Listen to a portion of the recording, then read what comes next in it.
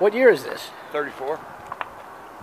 Wow. My brother had uh, Scottsdale Speed Specialist for about a year, and then he realized he couldn't make any money, so he changed it to Scottsdale Automotive Specialist.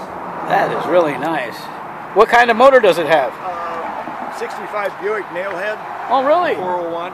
Wow, that's pretty and they got about 400 foot-pounds of torque. Does it? What kind of horse? I don't know, about 300 or A 300 horse? But it's 2,200 pounds. Oh yeah, it's pretty light. Boy, that's nice. You got the suicide doors. Yeah. Uh, got air conditioning, Really? uh, heated seats. really? you know? Boy, you went all out on Yeah, that. they're just a heating pad underneath the upholstery. Oh man, that is nice. Uh, 2,200 pounds. Yeah. Jeez, So it, it runs pretty good. it looks like it.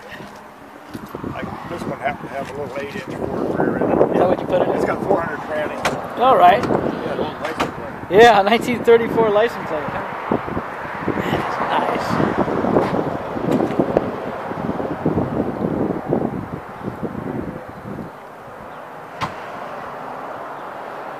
Do you take it out a lot, Paul?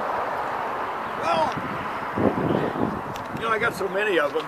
Yeah. I, I anytime I go someplace, I drive one of these. Oh, okay. Because, Like, why would I drive my truck unless I got to haul something? You know. Right, that makes So sense. I, I drive a hot rod whenever I go somewhere. That's neat.